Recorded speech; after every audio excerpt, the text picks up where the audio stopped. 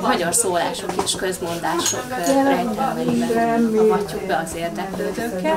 De ahol Bosnyák Viktória hiába gyerekszerző, de olyan élvezetes formában adja elő a tudnivalókat, hogy mindenképpen megéri hozni. Ányos Darinka, a Zsolt utcai tagkönyvtár vezetője ismerteti, hogy milyen előadásokkal készültek a programra érkezőknek.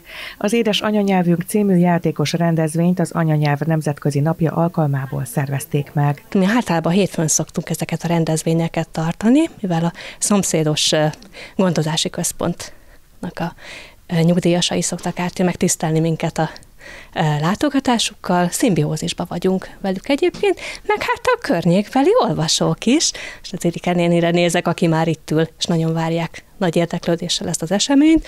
Ugye az anyanyelv nemzetközi napja kapcsán az Édes Anyanyelvünk című rendezvényt tartjuk. Az anyanyelvet középpontba állító rendezvényre nagy volt az érdeklődés.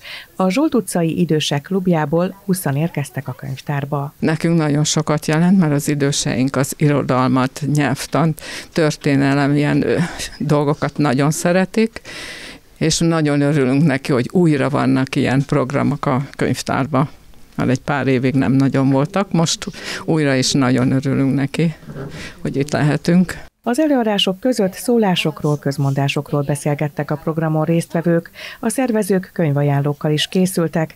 A Mesés Szókincs című könyvet és a Mifán terem a fején találta a Szöget című kiadványokat is megismerhették többek között a nyugdíjasok.